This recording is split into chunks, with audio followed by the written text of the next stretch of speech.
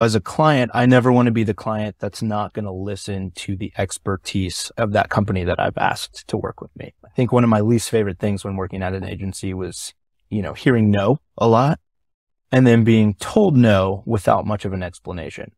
I'll always listen to a rationale, even if I disagree with it at first.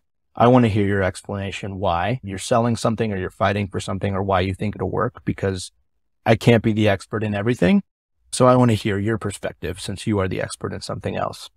And then I try to never just say no without an explanation because if my answer does have to be no, I want to give you the context of why so that maybe you can help me find a different solution that does work better.